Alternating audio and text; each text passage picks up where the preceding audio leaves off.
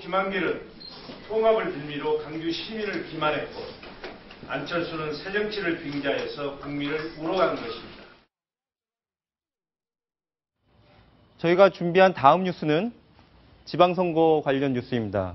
그 일곱 번째 뉴스로 안심, 난 몰라. 그리고 이어서 박심, 밖엔 난 몰라. 제목이 좀 독특한데요. 얼마 전까지만 해도 새정치민주연합 내부에서는 전부 다 안철수 대표와 과- 그 친분을 과시하거나 그 밑에 줄서기를 하려고 하는 그런 듯한 분위기가 있었는데 방금 이용섭 의원이 탈당 선언을 했지 않습니까? 네, 그렇습니다. 어떤 배경인가요?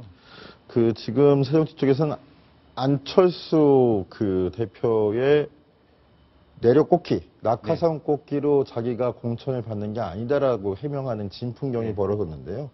보셨다시피 이용섭 강, 이용섭 의원과 강훈태 시장이 광주 전략 공천에 반발해서 탈당했습니다. 네.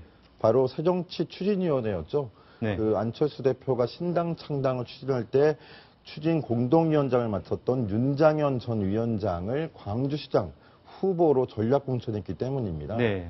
근데 그런 비슷한 상황이 지금 경기 안산이죠. 네. 이번 그 세월호 참사로 가장 네, 많은 맞습니다. 승자를 빚은 네.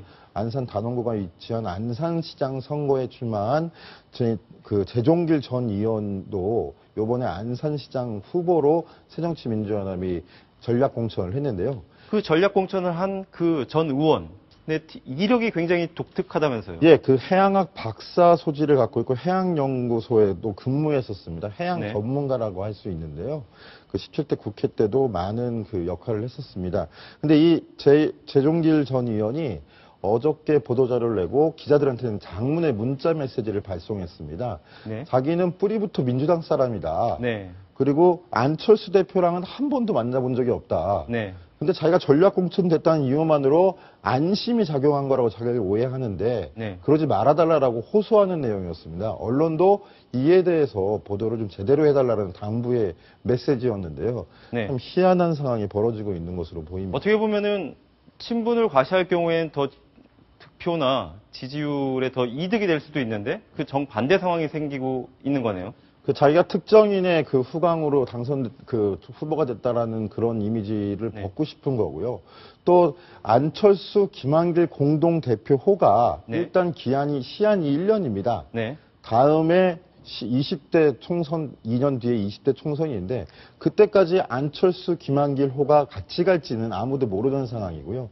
이렇기 때문에 일단 합당을 한 이후에는 그 김한길 안철수 편보다는 자기의 새로운 이미지를 부각시키고 또 그런 당 내에서의 그런 그 사회 주류에 대해서 잘 보이고 싶어하는 감정이 있을 겁니다. 네. 그런 것들이 많이 작용해서 나타나는 것 같다는 느낌이 느낌을 갖고 있습니다. 아까 영상에서 보셨지만 이용섭 국회의원, 이용섭 의원이 그 탈당 선언을 하면서 어제 기자들한테 메일을 돌린 거 보니까 그 메일 제목이 새정치는 죽었다. 이런 그 제목 내용이 제가 기억에 남는데 그뿐만이 아니지 않습니까? 탈당이 이어지고 있는데 새정치민주연합 내부의 반응이 어떤지가 궁금합니다. 그 현재까지 그 내부에서는 별다른 반응을 보이지 않고 있습니다. 네. 사실은 광주 공천 같은 경우에는 호남입니다. 네. 새정치민주연합, 특히 구민주당 깃발만 꽂으면 누구든지 당선된다는 호남이었기 때문에요. 그, 그나마 그 큰 관심을 보였던 곳인데, 그 당 내에서는 희한한 일이지만 구민주당계 의원들이 다섯 명이 결집을 해가지고 네. 절, 그, 개혁 공천해달라. 네. 현 강원태 시장으로는 안 된다. 또, 마찬가지로 이영섭 위원회에 대해서 부정적인 의견을 냈던 곳입니다. 네. 사실상 윤장현 후보를 전략 공천해달라는 그 의견- 의견들이 많았었는데요. 네.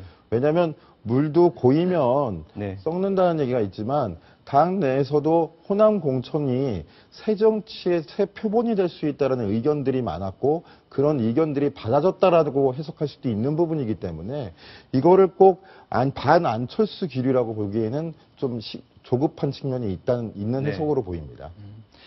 근데 이제 그렇다고 하더라도 그런 발- 민감한 발표 아닙니까? 그것을 금요일 밤에 했다면 당 지도부도 뭔가 좀 마음에 부담이 있어서 좀 살짝 넘어가려는 그런 의도가 있지 않았을까요?